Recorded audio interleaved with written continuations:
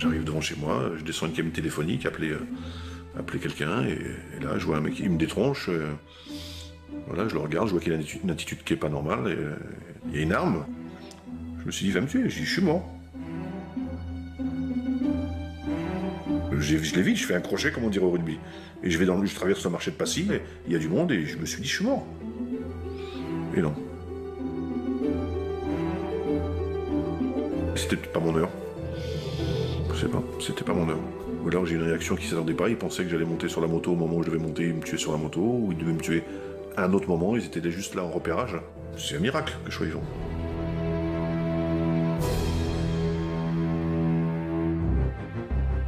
Karim Maloum, ex-braqueur de l'équipe mythique de la Dream Team, l'un des gangs les plus connus du grand banditisme dans les années 90. À l'époque, on lui prête les braquages les plus spectaculaires. Ses cibles, le plus souvent, des fourgons de transport ou des dépôts de fonds. Et sur chaque coup, entre 2 et 45 millions de francs sont volés.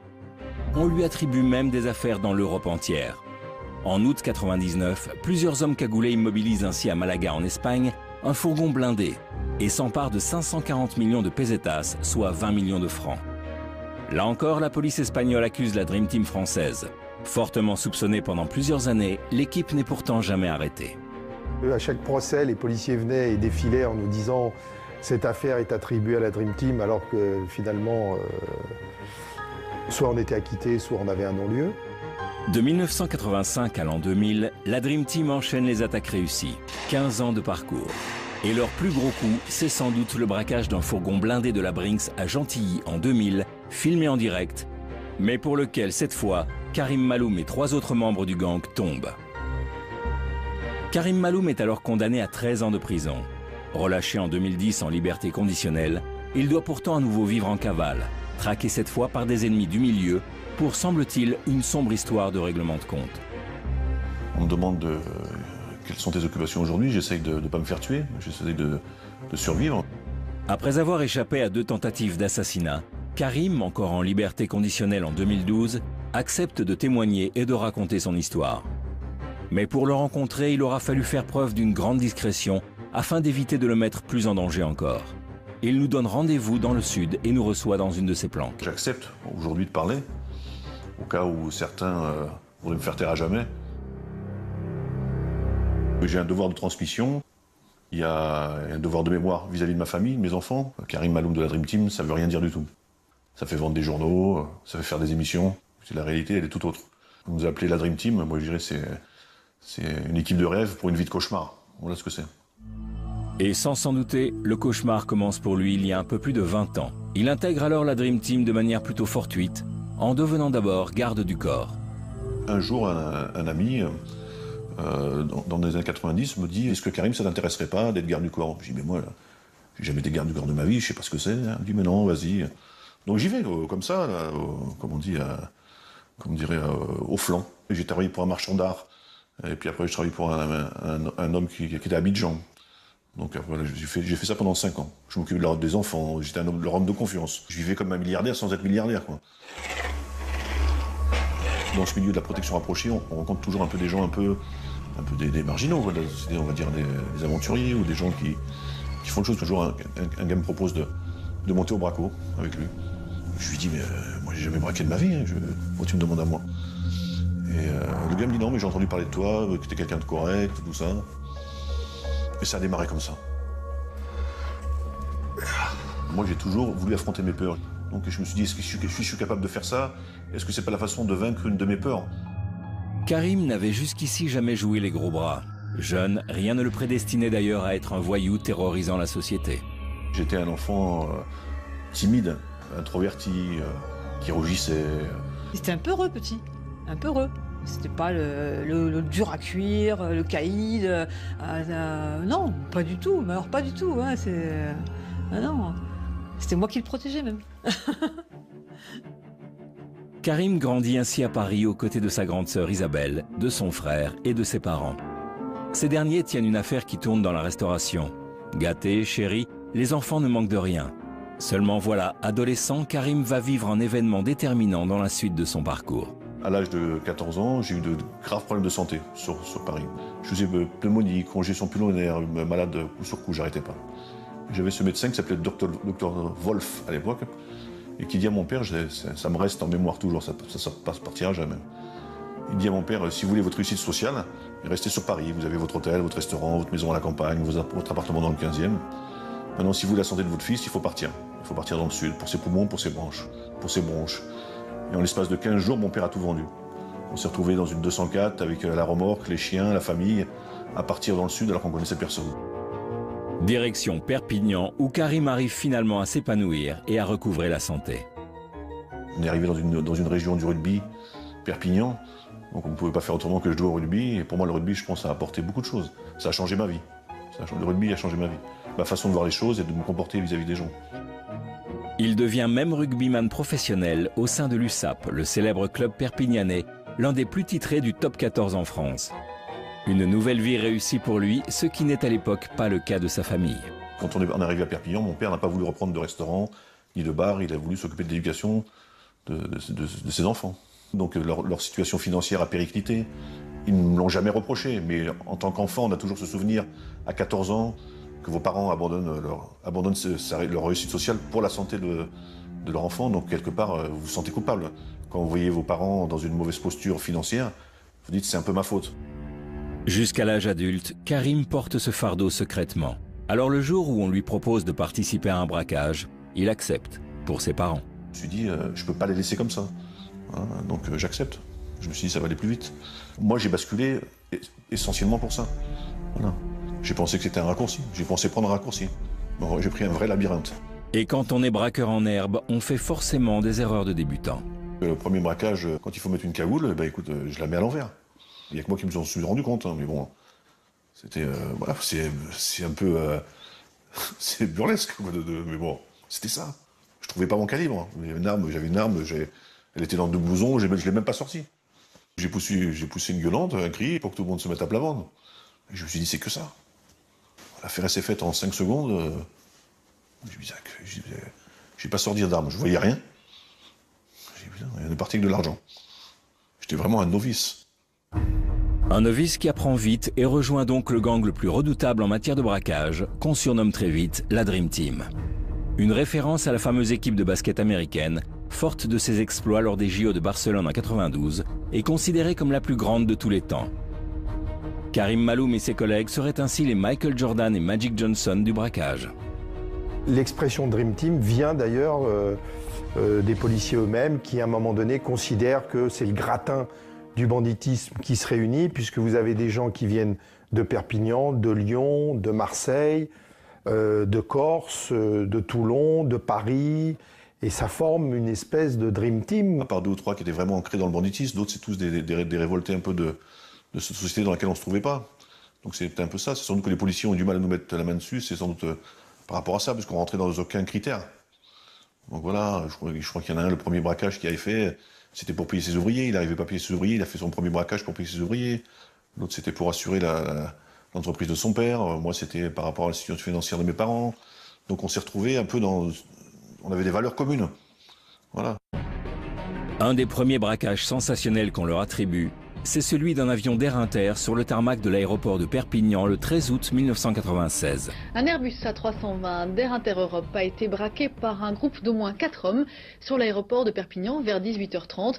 Ils ont filé butin en poche. Les précisions de Benoît Thévenet. 18h20, trois fourgonnettes forcent un portail d'accès aux pistes de l'aéroport de Perpignan. Les trois véhicules s'immobilisent devant l'avion qui effectuait une manœuvre en bout de piste. Plusieurs hommes armés déploient alors une banderole sur laquelle est écrit coupez le moteur et ouvrez la soute.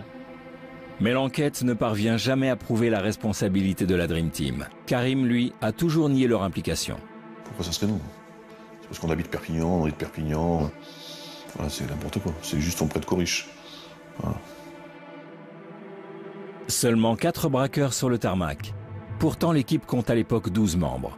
Parmi eux, entre autres, Michel Crutel, originaire de Drancy, Christian Raison de Manosque, Bruno Cellini de Villejuif, Daniel Bélanger de Limoges, Daniel Merlini de Marseille ou encore Jean-Jacques Naudot de Perpignan. Tous venus d'horizons différents et tous avec des profils hauts en couleur, ce qui leur vaut dans la presse des surnoms dignes de fiction. T'en as un qu'on appelait le bavard parce qu'il parlait jamais. Parce que moi j'étais gros, on m'appelait le gros. C'était pas le gros, on m'appelait l'abbé Pierre. Parce que dès qu'il y avait un malheureux, je pouvais pas m'empêcher d'aller vers lui, de m'occuper de lui. Comme Michel Crutel, on dit que c'était le militaire. Alors quand on vous reprenait des articles de presse, on l'appelait militaire parce que c'était un, un homme qui maniait extrêmement bien les armes de façon militaire. Rien à voir. Une fois, il s'est coupé les cheveux, euh, on l'appelait le militaire parce qu'il avait les cheveux d'un coup de militaire. Donc c'était moi, c'était des, des boutades. Le gros, la fripouille, le commerçant, son Altesse, Pinochet, Babar ou encore le Grand Blond se réunissaient ainsi régulièrement pour préparer leur coup. On était une entreprise familiale. non Voilà. Voilà. Pour résumer l'équipe. Euh, Chacun avait été complémentaire. Justement, c'est pour ça que ça marchait. Il n'y avait pas un qui s'élevait pour écraser les autres. C'était vraiment une discussion. euh, Il y avait des tableaux noirs qui étaient faits. Il y avait des votes à main levée. On fait telle affaire, telle affaire. Qui est d'accord, qui n'est pas d'accord. On avait une vraie démocratie dans notre, dans notre équipe. Voilà. il y avait débat. Oui, il y avait débat, ouais. bien sûr qu'il y avait débat. Il y avait des vrais débats. Il y avait des débats sur des affaires qu'on devait faire et puis qu'on n'a pas faites. Parce qu'il n'y a pas eu d'unanimi- d'unanimité. Ou des affaires où on était sûr de prendre de l'argent et euh, on était sûr de laisser des gens sur le tapis, aussi bien de notre côté que de l'autre côté, on ne les a pas faites. L'argent, on l'aurait pris, c'est sûr. Mais euh, avec- les dommages collatéraux, ils étaient euh, importants. On n'a jamais, versé de sang. Jamais. On a eu de la chance, ça aurait pu arriver. Mais on a tout fait pour que ça n'arrive pas, ça n'est jamais arrivé. J'ai eu ce genre de soulagement de dire qu'il n'avait jamais tué personne, que c'était pas un meurtrier, juste un braqueur. Voilà, ça oui. Et ça, je suis fière de le dire. Voilà, parce que mon frère n'est pas un meurtrier, un braqueur. Et c'est tout. Ce que je me rappelle, moi, c'est des, des tablés. Ça, euh, on avait des repas, c'était, euh, il y avait des dialogues, c'était digne des films d'Audiard. C'était des, des charriades, des boutades, euh, alors que c'était grave quand même ce qu'on allait faire. Mais il n'y avait jamais de, stress, ou alors quand il y avait un qui était en stress, il y avait toujours un, mec qui était là euh, pour envoyer le bouchon, pour le, envoyer le mot pour le, pour le détendre. C'était des courses, on allait faire nos courses euh, sur le marché. Il y avait un qui était cuisinier, euh, qui faisait manger pour tout le monde. Euh, on avait un autre, euh, il pouvait, les- il pouvait pas les braquer euh, sans prendre une plaquette d'imodium. Voilà, et pourtant, c'était un braqueur chevronné, mais il lui fallait de l'imodium. Mais c'était quelque chose. Que des personnages, des vrais personnages. Le moment des repas était même un moyen de se jouer de la police. On avait pris le guide Michelin et pendant des, pendant des années, on se retrouvait, on dit bah écoute, tu prends ta carte page 12, ligne de 27, euh, on se retrouve là à telle heure. C'était seulement l'adresse d'un restaurant. C'était le guide Michelin. Donc ils ont dû, longtemps ils ont dû chercher euh, que ce que c'est que cette carte. euh, quand j'en parle, j'en parle avec le sourire parce que c'est des vrais moments que voilà, on peut pas nous enlever. Quoi. Aujourd'hui, Karim Maloum a purgé la quasi-totalité de sa peine. Beaucoup de ses potes ont disparu. Lui tente de rentrer dans les rangs, mais a gardé des fortes amitiés de ses années de détention. Il y a rencontré Christophe Rocancourt, l'escroc des stars, Roger Nobelpis, un des compagnons de cellule de Messrine, ou encore Raymond Chou, ancien braqueur. C'est très rare, mais quand ils le peuvent, ils se retrouvent en petit comité pour partager un repas pour le moins convivial. Une simple question. On est d'accord que Roger nous dit constamment qu'il est à la ramasse, que, que les temps sont durs. Regarde la Rolex en or. Allez, mets-toi à table. Regarde-le. Il a recassé la montre tout de suite. Regarde là-bas. Ça fait 20 ans que je l'ai. Allez, voilà, 20 ans. Ah, il est beau, l'ex-ennemi euh, public numéro un. Il est beau. Je te la rends 4000 euros si tu veux. 4000 euros, mais, mais tu te rends compte comment il te balance des chiffres? 4000 euros. Bah, c'est que dalle pour toi. Moi? Avec tout ce que t'as dans les coffres. euh, 35 millions de dollars ouais. étaient emplâtrés. On ne peut pas croire ce que les médias disent. J'ai bien entendu ça à la télé. 35 millions de dollars. Mais les écoute pas, c'est tous des menteurs. je sais sur quelle chaîne, je sais plus quoi. Là. Un jour, j'allume la télé, me je vois ça terrible. chez toi, j'allais Ah. L'escroc numéro 2 ou numéro 1, je sais plus. Pourquoi numéro 2 Comment tu fais le numéro titre, Numéro... hein. Ah ben, tu avais mis numéro 2. Sur... Non, ah bah là, là, là t'es Ils malhonnête. Je sais pas qu'ils avaient mis. Non, non, rectifie-toi. Non, je sais ce que j'ai Les retenu, archives c'est 35 parlent. 35 Numéro 1. numéro- 35 Bon. millions. euh. Moi, j'ai- moi, j'ai j'ai dit au gouvernement, je te nommerai ministre du budget. Quel extraordinaire. Les caisses seraient vides. Nous, on en est arrivé à faire des t-shirts. Regarde l'escroquerie. Qu'on n'a pas une thune, vois, on est obligé de se mettre dans l'honnêteté. Regardez, regardez le t-shirt de Christophe, c'est pas beau ça Dreamrock. Dreamrock. Ça, c'est une idée qu'on a eue tous les deux. Voilà. La Dream Team et Rocancourt. On est dans la reconversion. On est dans le textile aujourd'hui, c'est vrai C'est qu'aujourd'hui, de toute façon, la- l'avenir, il n'est pas dans la voyoucratie. Dans... On a compris qu'il n'y a plus de voyous. Vivre sans, sans cet espoir, si tu veux, d'être délinquant, c'est vraiment la dictature totale. Tu sais que tu vas pas échapper Non, mais ni, toi, Roger. ni au chômage, ni à l'usine, ni à la précarité. Tu vas rester chez toi. Tu vois, le, le manque d'argent va t'enfermer chez toi. Quand on Toi- fait pas l'apologie du mais ce soir, oui. Ce soir, on fait l'apologie de l'amitié. on va trinquer? Qui? Pote. Oui. C'est vrai. T'as trinqué avec moi là? Alors, hein? Moi, la vraie histoire de la Dream Team, c'est des repas comme ça. C'est des repas entre amis. Là, je me régale, on est entre amis. Mais j'aurais aimé que mes amis soient là ce soir. Quand des fois, j'imagine le tour d'une table avec tous mes amis. On était 12. hein. Je- J'en vois plus de 3 à table, vois. Ce sont des gens qui étaient avec nous. C'est pas une réussite. Il y en a- aucun qui est mort dans son lit. hein. Il y en a aucun qui est mort dans son lit. Et pourtant, on n'était pas des crapules. Les fins tragiques des membres de la Dream Team sont en effet nombreuses. Michel Crutel est exécuté de 8 balles dans le corps au printemps 99 lors d'une attaque avortée d'un entrepôt du sud de l'Espagne. Il y visait une cargaison de 300 kg de hashish. Christian Oraison est assassiné en août 2008 à Manosque suite à un règlement de compte lié vraisemblablement à un trafic de machines à sous.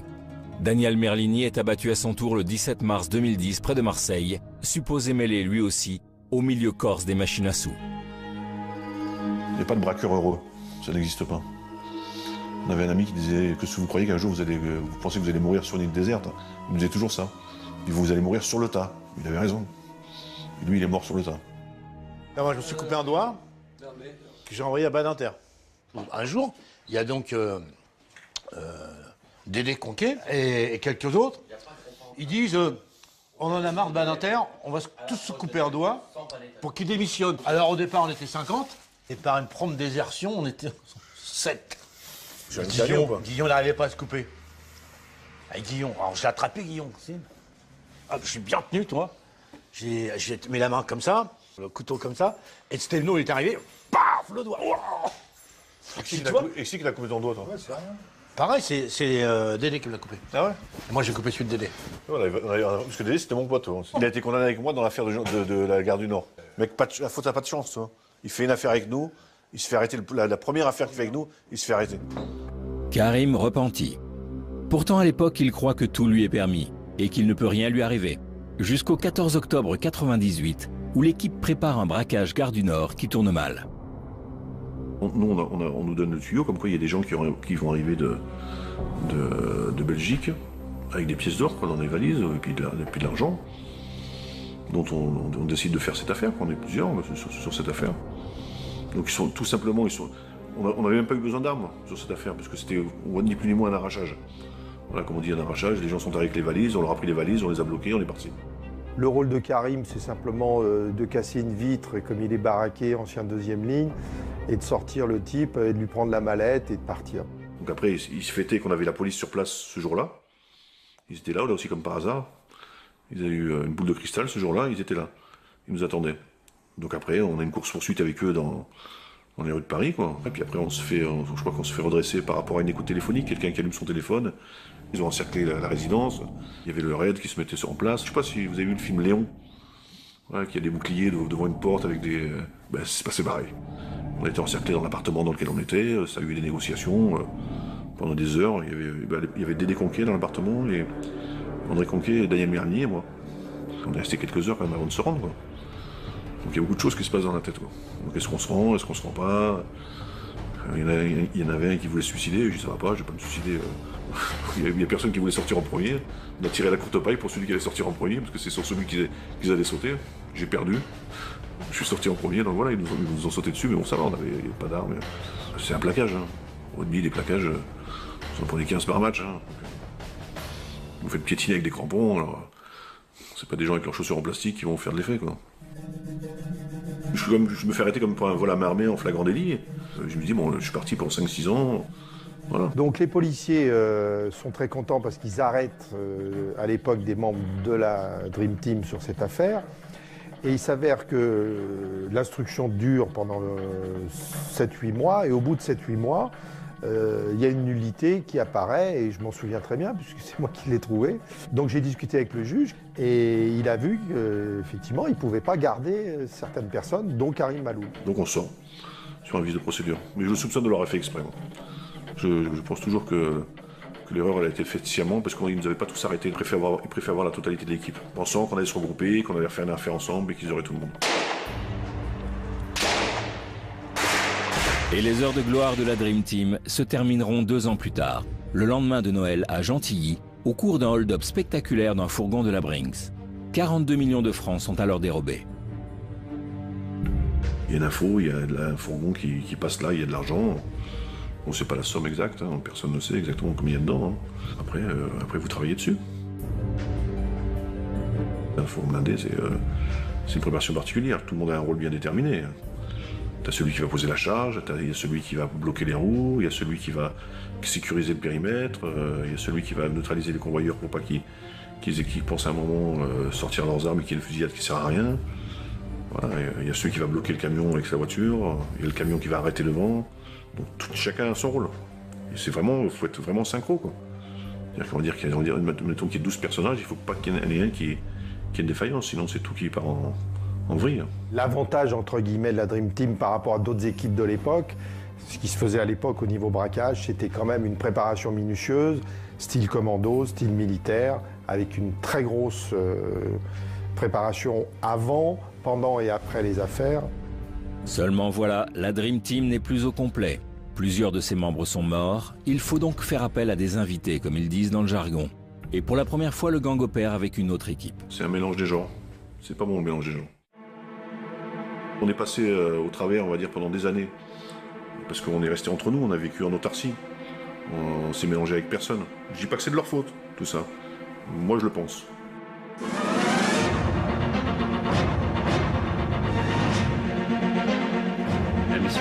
Voici les titres de l'actualité de ce mardi. Encore une attaque à l'explosif contre un fourgon blindé. Un convoyeur de fond a été légèrement blessé à Gentilly, près de Paris. Un commando fortement armé avait tiré au lance-roquettes contre deux fourgons de la Brinks. Les malfaiteurs ont pris la fuite après s'être emparés du butin. Le braquage est réussi. Euh, tout le monde est rentré, on compte l'argent. euh. On mange ce qu'il y a à manger, on fait pas la fête, parce que dans les, dans journaux, on dit qu'on a sabré le champagne, qu'on a fait la fête. Non, pas du tout. On mangeait des sandwichs, on a dormi sur une, par terre. Pourtant, on avait l'argent. hein. J'avais l'argent euh, sur mes pieds. Je, je pensais à ce- comment on allait dépenser le lendemain, toi. Mais j'ai pas eu le temps, parce qu'à 6 heures, le réveil, il a été brutal, quoi. La fuite des braqueurs d'hier n'aura peut-être été que de courte durée. Ce matin, six hommes soupçonnés d'avoir participé à l'attaque de Gentilly ont été interpellés dans l'Essonne. On s'y attendait pas du tout, non. Le réveil, il a été euh, costaud. Quand on arrive à 6h du matin, qu'il y a 20 ou 30 mecs cagoulés qui arrivent, euh, voilà. On se rend compte aussi ce que ça fait quand nous, on arrivait cagoulés aussi. Voilà. Donc c'est un peu aussi un, juste retour aux choses. C'est l'impact psychologique que tu peux avoir sur des gens, ça peut être choquant. Donc on va dire qu'on a été choqués. Voilà ce que les policiers ont découvert tôt ce matin dans un pavillon de la banlieue sud. Une cinquantaine d'armes à feu, des armes de poing, mais aussi des fusils d'assaut, à côté de stocks d'explosifs et de détonateurs. En même temps, six hommes étaient interpellés. Quatre d'entre eux sont fichés au grand banditisme. On se fait arrêter dans, la planque euh, Merlini, Cellini, Nodo et moi. Quatre. Je me revois attaché dans la cuisine avec, euh, Merlini, parce qu'il nous avait mis à part. Je sais pas pourquoi Merlini et moi, ils nous avaient mis de côté dans la cuisine.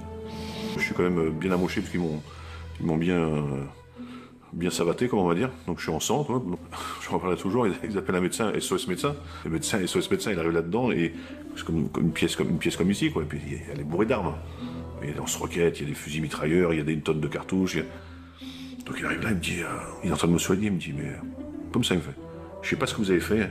Il me dit, bon courage, il m'a dit. Comme ça, il me dit, mais le ça, c'était, euh, même là, il y avait même là que c'était critique. J'étais obligé de rire, tu vois. Quand ils nous ont arrêtés, pour eux, c'était, euh, voilà, c'est une réussite, hein. On va dire ce qui est, hein. Comme, comme un policier m'a dit, il me dit- je lui disais, t'es en train de prendre du grade. Lui, il m'a dit, t'es en train de- toi, t'es en train d'en perdre. Il avait raison. C'était ça. Voilà.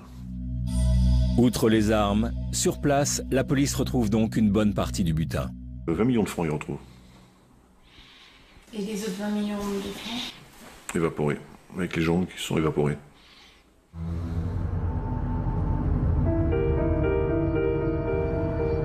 Le commando qui a attaqué hier un fourgon blindé de la Brinks aux portes de Paris est sous les verrous. Les gangsters ont été repérés grâce à un témoignage. L'affaire de Gentilly, euh, c'est un grand mystère. Caméra, photographe, euh, témoin miracle qui poursuit les, qui poursuit les, les- les braqueurs avec sa voiture. Selon nos informations, les policiers ont bénéficié d'un renseignement très précis. Lorsqu'ils prennent la fuite, les braqueurs posent un gyrophare de police sur une de leurs voitures, comme en témoignent ces images amateurs?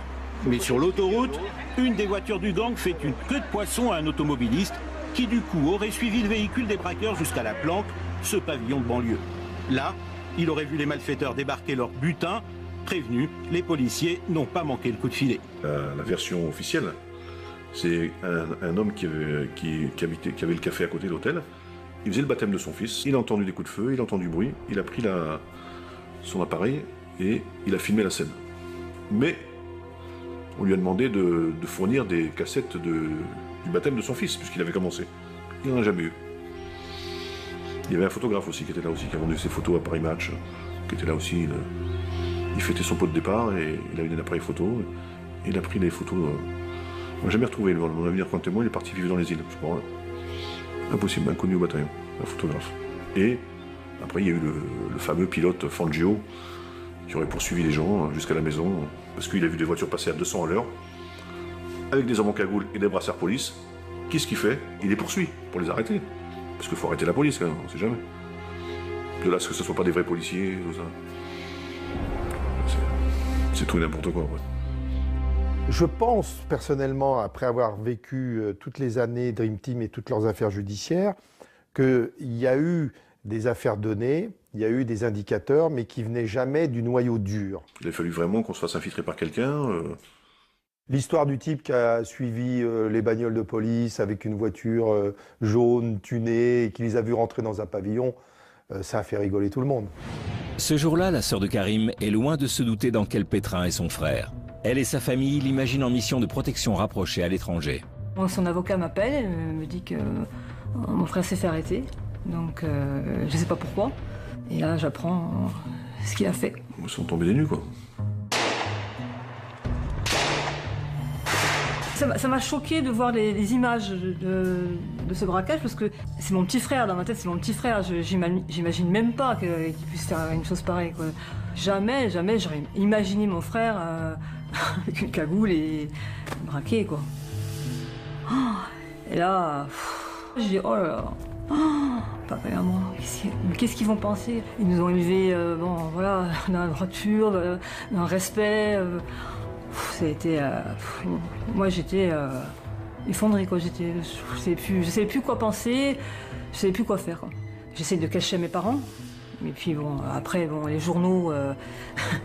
euh, on habite dans une, petite ville, donc euh, première page, euh, voilà.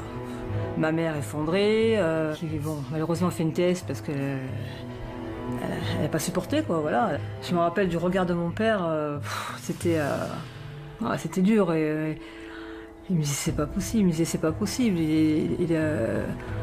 Mon père c'est pas quelqu'un qui parlait beaucoup, pas très expansif, mais mais là on voyait qu'il avait pris 10 ans. Difficile de digérer la nouvelle pour la famille. Non seulement Karim est arrêté, mais les charges requises contre lui sont nombreuses. On est poursuivi pour vol à main armée et association de malfaiteurs.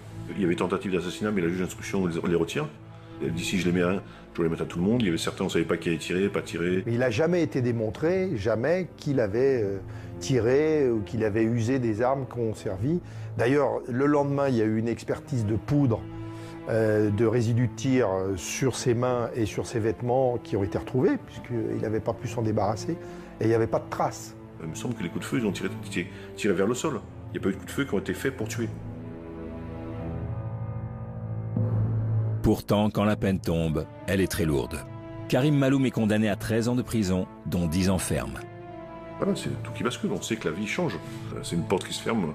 Quand la porte se ferme, on sait qu'il y en a pour des années. C'est 10 ans. Euh, C'est 10, 10 Noël, euh, 10 jours de l'an, euh, 10 anniversaires, 10 printemps, 10 étés, 10 hivers, 10 automnes. C'est quelque chose quand même, 10 ans. Euh, c'est vos enfants que vous ne voyez pas grandir. Moi, j'ai laissé ma fille, euh, euh, elle avait 4 ans. Quand je suis sorti, elle en avait 14. Mon fils, il en avait 14. Quand je suis sorti, il en avait 24. Donc c'est, euh, voilà, c'est- tu vois pas grandir tes enfants. Alors après, euh, on les voit grandir au parloir. On les voit grandir au parloir. Donc c'est bien sûr veut.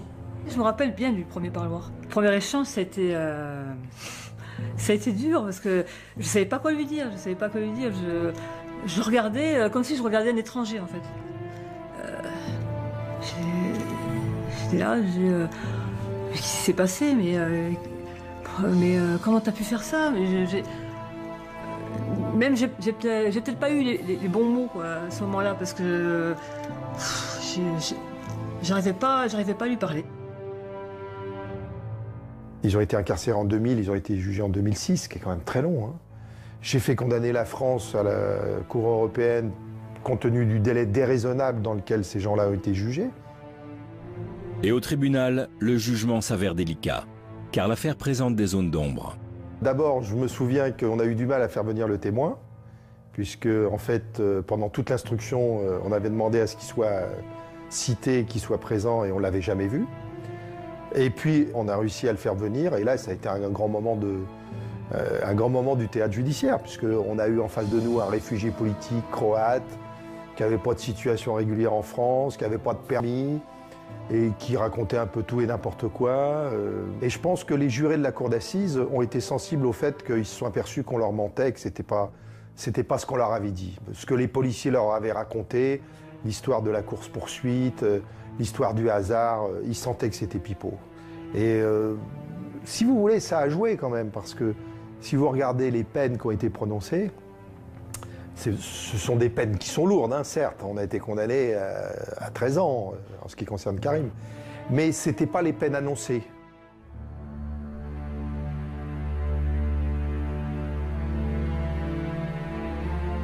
L'histoire de Karim Maloum et de la Dream Team n'est pas banale. Depuis sa sortie de prison en 2010, il a d'ailleurs décidé de la coucher sur papier avec l'aide de Thierry Colombier, écrivain spécialiste en criminologie. La difficulté, c'est de, se mettre un peu à sa place. Euh, donc, c'est pas facile de se mettre à la place d'un gangster, enfin d'un ex-gangster en tout cas. C'est pas quelqu'un qui balance. D'ailleurs, il, cite euh, rarement des noms. Euh, c'est très difficile à lui faire sortir des, histoires, etc. Donc ça, c'est important. Est-ce qu'il me dit tout? Ça, je ne sais pas. je ne suis pas son porte-parole.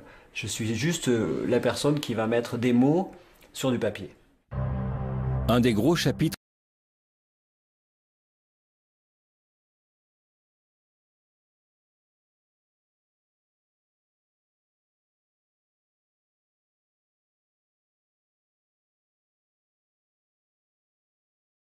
Bien sûr. Bien sûr qu'on pense que c'est possible. Dès l'instant, il y a un facteur humain qui rentre en compte. Il y a une faille. Donc la faille, vous la trouvez tôt ou tard. Il y a toujours des failles. Vous rentrez en résistance. Hein.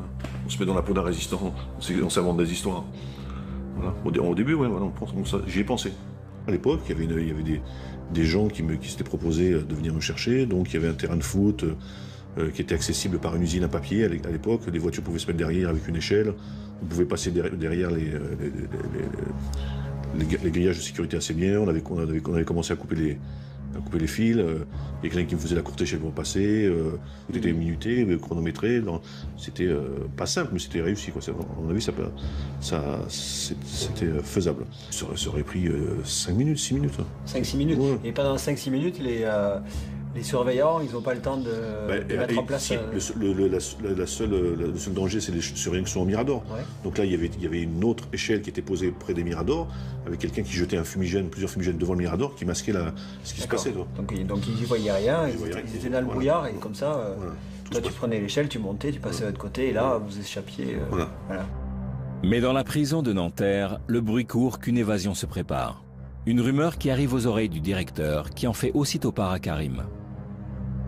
Il m'envoie l'information, euh, il dit on le sait. Euh, si, tu avais quelque chose de prévu, euh, bon, bien sûr j'ai dit que c'était pas vrai, que c'était faux, il m'a donné comme quelques précisions qui m'ont fait qu'il était vraiment au courant. C'est pas le trahir que de dire ça, c'est qu'il m'a dit il paraît qu'il y, a un joueur de rugby qui va s'évader de la prison. J'étais le seul joueur de rugby de, la prison. Mais bon, je lui dis non, je m'évaderai pas. Je, vais donner ma parole. Mais à mon avis, si, je m'évadais, on nous attendait dehors. Des gens. Je pense que les policiers devaient nous attendre. Donc je considère qu'il m'a sauvé la vie. Donc c'est toi qui as décidé de ne pas le faire Oui, j'ai décidé de ne pas le faire. J'ai décidé de pas le faire parce que les gens devaient se survoler. Il aurait fallu être complètement stupide. J'ai fait une promesse à, ce directeur de prison et j'ai fait une promesse à ma fille. Parce qu'à l'époque où l'évasion doit se préparer, euh, elle vient au parloir et je dis à mon ex-femme, écoute, c'est pas la peine de venir la semaine prochaine, je serai plus là. Moi. Je lui fais comprendre. Et la petite, je me rappelle, à 5 ans, elle me dit, mais papa, si tu t'en vas, je vais plus te voir. elle se met à pleurer, elle a 5 ans. Et là, je me suis pas senti. Je je peux pas lui faire ça. Karim Maloum n'a alors pas d'autre choix que de s'adapter à son nouveau quotidien derrière les barreaux. Il décide d'être un détenu actif et offre même de partager ses expériences de jeunesse. J'étais à la centrale de Saint-Martin-de-Ré Et euh, on a monté une équipe de rugby. J'ai tombé avec un gars de Béziers, et tous les deux, lui aussi, euh, connaissait le rugby. On a monté une vraie équipe de rugby. Licencié à la Fédération française de rugby, on participait à un championnat. C'était formidable de, créer, de faire quelque chose en détention.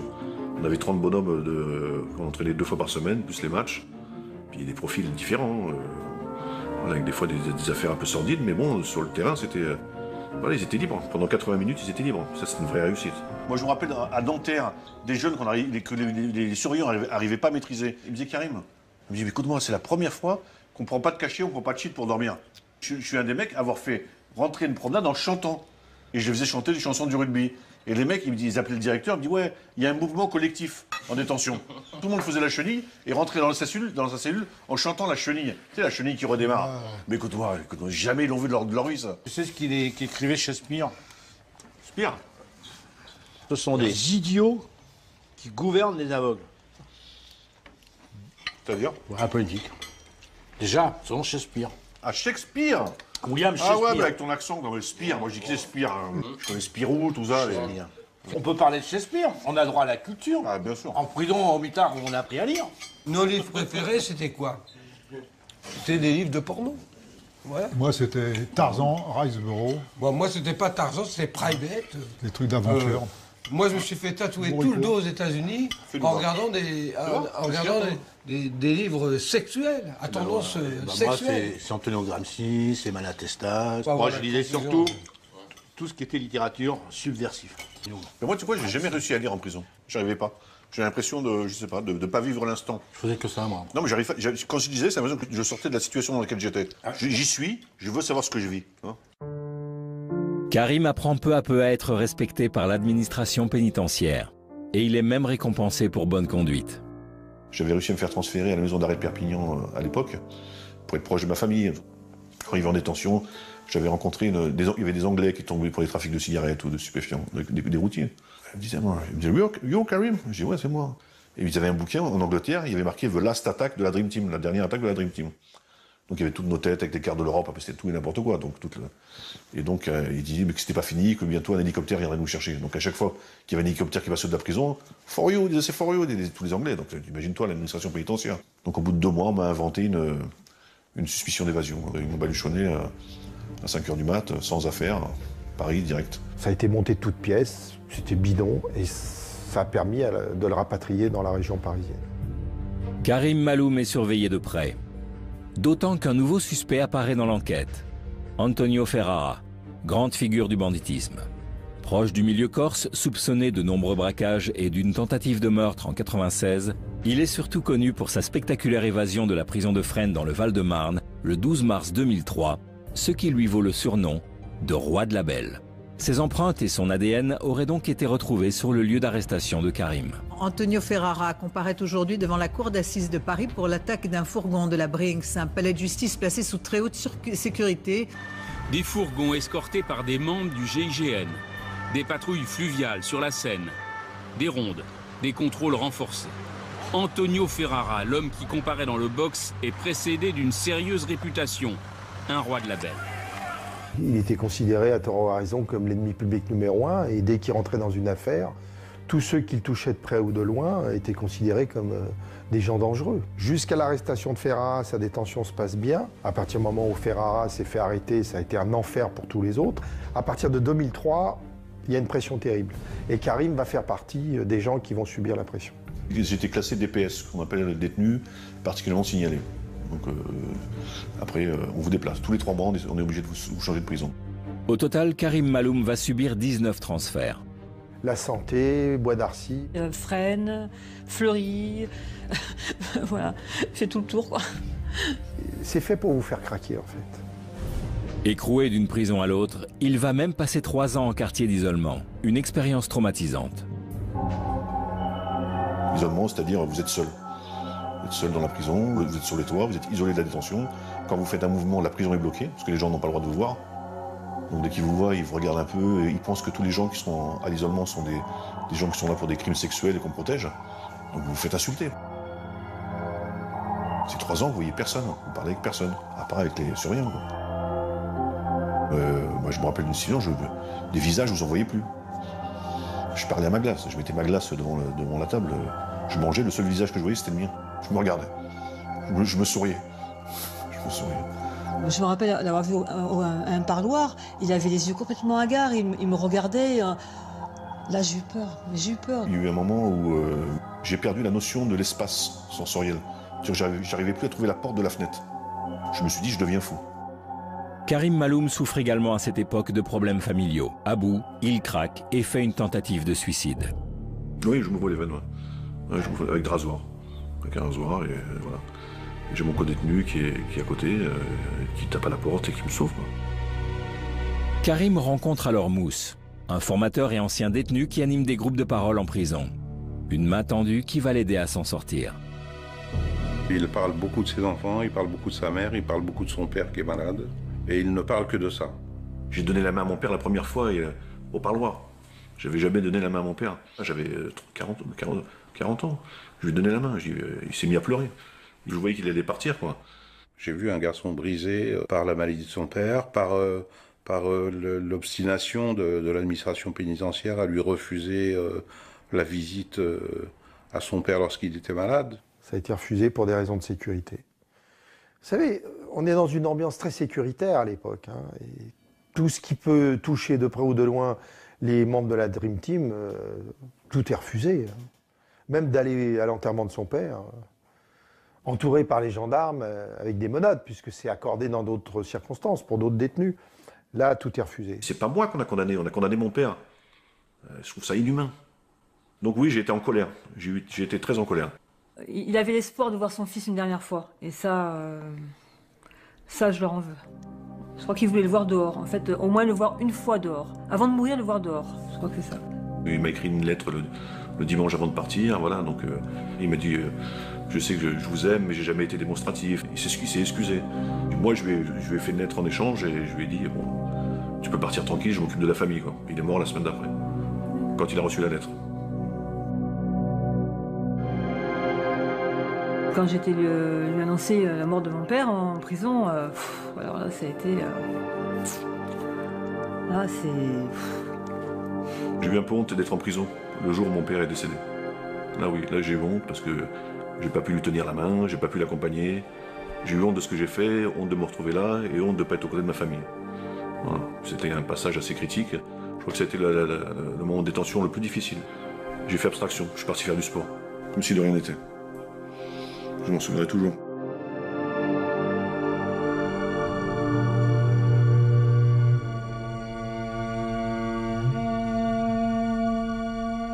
Karim euh, libre, là, c'est euh, le soulagement complet. Renaissance, quoi. Enfin, J'étais heureuse. euh, on, on va en parler, j'ai encore des frissons, quoi. Sa sortie, on l'imagine 100 fois, 1000 fois. Mais c'est jamais comme on a prévu. Quoi. Une autoroute dans la tête, moi je dis quand on sort, parce que euh, c'est violent. La voiture, euh, il me oh là ça fait drôle, la route et tout. Je me rappelle, euh, je conduisais, je me suis même fait flasher, je me rappelle. Parce qu'il a tellement été pressé de, de rentrer sur Perpignan, je me suis fait flasher. La liberté fait peur. Bah, c'est contradictoire, mais la liberté fait peur à un moment. On se dit, euh, on veut tout faire, on veut tout vivre, on, a- on veut tout, euh, on veut essayer de rattraper le temps perdu. On est boulimique, boulimique de, de, de, vie, boulimique de, de vivre les choses. Tellement on en a été frustré. Moi j'aime bien le soir maintenant, après manger, aller marcher, parce que c'est ce qu'on pouvait pas faire en détention. Détention, c'était la, la vie, la vie s'arrêtait à 18h. 18h, la porte elle est fermée jusqu'au lendemain.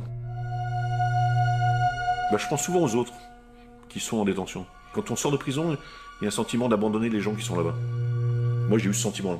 On laisse des amis, on laisse une vie, on culpabilise de laisser ces gens-là, parce qu'on sait ce qu'ils vont endurer encore. Karim Maloum se réadapte peu à peu à la vie normale et rencontre même l'amour. Séparé de sa première femme pendant les années de détention, il refait sa vie, un conte moderne, celui de l'avocate et de l'ex-braqueur. J'ai connu euh, euh, ma compagne par l'intermédiaire de mon, avocat, Denis Giraud, qui, c'était sa collaboratrice qui était avocate.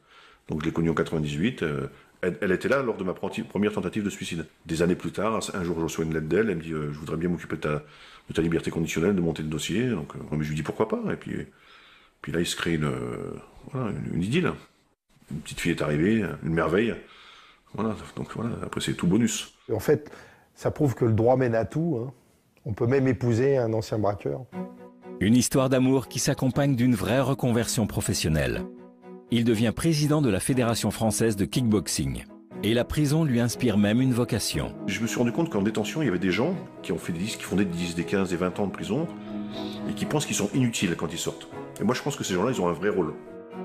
Avec l'aide de sa femme et d'autres collaborateurs rencontrés lors de sa détention, il met donc sur pied un projet qui lui tient à cœur. On a monté une association qui s'appelle Alternative et Avenir. Le, but était d'accueillir de, des détenus longue peine, en fin de peine, les accueillir, les former, parce qu'ils deviennent des éducateurs, bien sûr encadrés, et de les mélanger à des primo-délinquants et des jeunes, à la place d'aller en prison, qui viennent au contact de ces gens-là. Je pense qu'il y a un vrai boulot à faire, il y, a, un partenariat mutuel, il y a un parrainage mutuel entre les jeunes et les anciens à faire. Que même les jeunes peuvent apprendre aux anciens ce qui se passe maintenant dans la vie. Quand tu as 15 ou 20 ans de prison, tu sais plus ce qui se passe. Les téléphones, les iPhones, les Blackberry, les, les, ça, tu sais plus tout ça. Donc je pense qu'il peut y avoir vraiment un partage des, euh, deux générations. Je parle pour mon cas, au bout de 3 ans, des fois, il y a le baby blues de la femme enceinte, il y a le blues du, business, du businessman, mais il y a le blues du mec qui sort de prison. Au bout d'un moment, on se dit, euh, qu'est-ce qu'on fait là? Récidives, qu'est-ce que c'est? Des gens qui se retrouvent plus à leur place en, liberté, parce qu'ils n'ont pas été préparés à la liberté. On n'est pas préparé à la prison, mais on n'est pas préparé non plus à la liberté quand on a fait des années de prison. Et, là, et, les gens veulent qu'une seule, une seule chose, c'est y retourner. Et des fois, c'est malheureux. Moi, je, je, parle avec, euh, je, parle, je parle souvent et je me dis, euh, oh, c'est peut-être complètement stupide ce que je vais dire. Mais tiens, j'aimerais bien passer une semaine en prison pour être tranquille, pour pas avoir de soucis. Soutenu par sa famille, Karim parvient ainsi à s'adapter au mieux à sa nouvelle vie d'homme libre. Il est même sollicité par le cinéma pour participer à l'écriture d'un scénario de long métrage inspiré de l'histoire de la Dream Team. Mais en mars 2011, en pleine ascension professionnelle, Karim Maloum est victime de deux tentatives d'assassinat. J'arrive devant chez moi, je descends une cabine téléphonique, appeler, euh, quelqu'un, et, et, là je vois un mec qui me détronche. Euh, je le regarde, je vois qu'il a une attitude, qui est pas normale, et, et une arme. Je me suis dit, va me tuer, je suis mort. Et non. Et ça m'arrive une deuxième fois en bas de, chez ma, belle, ma belle-mère. Je vais voir ma compagne, qui va voir sa mère, jusqu'à la rendez-vous avec elle à 10h. Même elle ne savait pas que je venais. Donc j'ai dû être trahi par quelqu'un. Le matin, quand je retrouve euh, ma compagne, il y a quelqu'un au passage piéton qui traverse pas. Et ça m'intrigue. Et quand il se retourne, voilà, tête n'est pas inconnue. Il n'est pas là pour m'offrir des fleurs. Les raisons de l'agression sont obscures. Karim ne sait pas vraiment pourquoi on veut l'éliminer. Moi, j'ai des griefs avec personne, je suis en guerre avec personne, donc euh, je vois pas pourquoi vous essayer de me tuer. On a tué Daniel Merlini, pourquoi Je sais pas, on le saura un jour. Un an après, on essaye de me tuer. Est-ce que c'est un rapport? Voilà, j'essaie de comprendre. Pendant trois ans, il m'arrive rien. D'un seul coup, euh, je vais à l'enterrement de Daniel Merlini. Je porte le cercueil. Soi-disant, je ne dois pas porter le cercueil parce que quand on porte le cercueil, ça veut dire qu'on réclame vengeance. Est-ce qu'on essaie de m'éliminer? Croyons que j'allais venger Daniel Merlini Peut-être. Est-ce que les gens se sont sentis en danger? Je sais pas. Voilà. C'est mon ami. Je porte son cercueil. Voilà. Qui veut la peau de Karim? Qui sont ses ennemis? L'ex-braqueur a quand même sa petite idée. Je suppose les connaître. Je ne dirai pas qui c'est. Pourquoi faire? C'est un code que j'enfreinerai pas, je le ferai pas. J'essaierai de survivre, j'essaierai de ne pas me faire tuer. Après, où commence la légitime défense Il voilà, faut se poser la question. Les saloperies, on n'en a pas faites. On nous en a fait, nous, des saloperies. Des, des, gens sont mal tenus avec nous, sont mal comportés. Mais pas nous. Donc maintenant, c'est des gens qui sont mal comportés qui essayent de nous éliminer. Karim se rend à l'évidence. Il ne peut plus vivre en toute sérénité sans se méfier. Sa vie doit donc changer. Ils ont mon adresse, mais après, euh, je peux pas y rester, parce que si euh, ils ont mon adresse, s'ils l'ont trouvé une fois, ils la trouveront deux fois, parce que c'est des gens qui ont un réseau. C'est des gens qui travaillent avec euh, beaucoup de gens, euh, d'univers différents. Vous imaginez même pas ce que ça peut être. Comme ils ont dit, on a essayé de tuer un arabe à Paris, on n'a pas réussi à l'avoir. Voilà ce qu'ils disent. Voilà. Parce que tout se sait. Voilà, c'est tout. Une nouvelle vie commence alors pour lui. Une vie de cavale qui implique de grands changements dans son quotidien. Maintenant, au quotidien, c'est compliqué. C'est très compliqué. Je suis dans la survie. Je ne vais pas savoir si mon couple va tenir, pas tenir, si ma vie, euh, si je vais trouver du boulot. C'est pour l'instant, j'essaie de ne pas me faire tuer. Ça comporte une vie, euh, une vie en retrait des autres, une vie en cavale, pas en cavale de la police, mais en cavale de, certaines personnes. Euh, ça, comporte une vie, une vie de famille qui est, qui est stoppé. Voilà. J'ai une petite fille de deux ans, je la vois plus, je vis plus avec. Je préfère que ma fille ait un père absent, ou mes enfants aient un père absent, mais un père vivant. Voilà. Donc on n'a pas réussi pour le moment physiquement à me tuer, mais comme je disais, on me tue euh, socialement, quoi. Ça oblige à reprendre certains automatismes, à revoir certaines personnes, euh, voilà, à se marginaliser. Malheureusement. C'est de repasser des coups de fil, c'est de ne plus dormir euh, plus de 2-3 jours au même endroit, c'est de reprendre certaines fréquentations, de voyager sans cesse, de bouger. Mais tout ça, ça, coûte de l'argent, énormément d'argent. Surtout quand l'argent, vous n'avez plus de salaire, vous n'avez plus de, vie. après, comment on fait? Je peux me faire dépanner, mais après, euh, qui dit appui financier dit rendre des comptes, exactement. Quand vous demandez de l'argent, après, on vous demande des services. pour l'instant, j'en suis pas là. Mais voilà, c'est, euh, on peut pas dire fontaine. À un moment, il faudra euh, faire un choix. Faire un choix. mes vrais amis, j'ai pas besoin de leur dire j'ai besoin d'aide, ils savent. Ils connaissent la situation, donc mes vrais amis, j'ai besoin de rien leur dire. Presque, ils retrouvent le Karim qu'ils ont connu quand j'étais avec eux. Alors que j'avais dit, euh, plusieurs fois, j'ai vu l'appel des sirènes, j'avais jamais répondu, quoi. Mais dans, un sens, il me dit, bah, c'est pas plus mal, au moins t'es avec nous maintenant. C'est dommage de parler comme ça, mais c'est la réalité. Comme disait mon ami, il n'y a pas d'arrangement. C'était Daniel qui dit ça.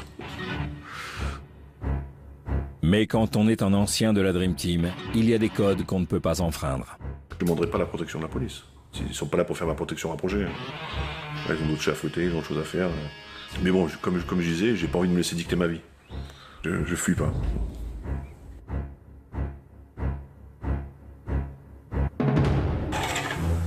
Pour rester en forme et vigilant, et ainsi optimiser sa défense, Karim se réfugie alors dans le sport. Ça permet d'avoir du discernement de pas faire n'importe quoi, de pas être parano et de garder un, corps sain dans un esprit sain, on va dire. Quand je viens sur Perpignan, je reste une journée, deux journées maximum. Et je préviens personne, j'arrive en coup de vent. Dans ma famille, ils m'appellent le fantôme. Ma grande fille, je lui dis j'arrive, je viens le chercher, elle me dit euh, quel jour? Je lui dis dans cinq minutes. voilà. Donc mes, mes enfants ont l'habitude. La peur, euh, c'est ça, c'est ce qui va à quelque chose, parce que maintenant qu'il est là, euh, on ne veut pas le perdre. Une fin tragique pour Karim. Une crainte que tous ses proches partagent, mais ne veulent pas envisager. Qui suis j'y pense pas, parce que je reste positif dans, dans ma façon de voir les choses. Et j'ai vu suffisamment de choses euh, euh, tragiques dans ma vie d'avocat euh, pour ne pas y penser. Et sinon, à ce moment-là, on arrête tout de suite. Hein. Vous savez, je vais dire un truc, je ne pas prêcher par ma paroisse. Je appuyer sur une gâchette, c'est très facile. Moi qui ne suis pas un voyou, j'ai bien, bien tiré aux États-Unis sur quelqu'un et je lui ai bien mis trois balles. Ça, ne donne pas des effets de, gloire. Tirer sur quelqu'un, c'est pas une forme de courage ou quelque chose d'extraordinaire de tuer quelqu'un. C'est extrêmement facile de tuer quelqu'un. Ce qui serait difficile, ce serait de ne pas le tuer. Ça, ça demanderait de la dimension. Karim, c'est mon pote. Moi, je cautionne à 200% sa parole. Ça veut dire que s'il me dit c'est comme ça, je sais que c'est comme ça. Malheureusement, d'autres personnes peuvent le concevoir différemment. Alors après, ça implique tout ce que qu'il peut lui arriver, etc. Bon, c'est fâcheux, c'est très fâcheux. Moi qui ai vécu 20 ans aux États-Unis, la Dream Team, donc le Dream, c'est le rêve. S'il reste vivant, effectivement, c'est magnifique. S'il est mort, il bah, n'y a pas de. La Dream Team, ça ne veut rien dire elle est aussi simple que ça, l'histoire. Après de 50 ans, Karim Maloum, ancien malfaiteur, père de trois enfants, dresse un bilan de son parcours. J'avais tout. Tout, j'avais tout pour pouvoir dire on peut tourner la page. Mais non. on, est, rattrapé par son passé, c'est pour ça qu'il faut juste surtout pas, s'il y a quelque chose à dire, surtout pas mettre le doigt là-dedans. Pour les jeunes qui, pensent que c'est une, vie de rêve, S'ils peuvent éviter, c'est mieux. Si mon témoignage il peut servir au moins à ce qu'il y en ait un qui n'y aille pas, c'est déjà gagné. Si demain je meurs, je meurs. je ne vais, pas, voilà, je vais pas faire la politique de l'autruche, ça peut arriver. Ça peut être une interview à titre posthume que je vous fais. Mais je ne veux pas qu'on s'appuie sur mon sort, je dis les choses comme elles sont, ce qui se passe. voilà, ça fait partie du, de ce milieu. Si, euh, tu as, si tu as quelque chose à dire à tes enfants. À mes enfants? Je suis désolé. Voilà.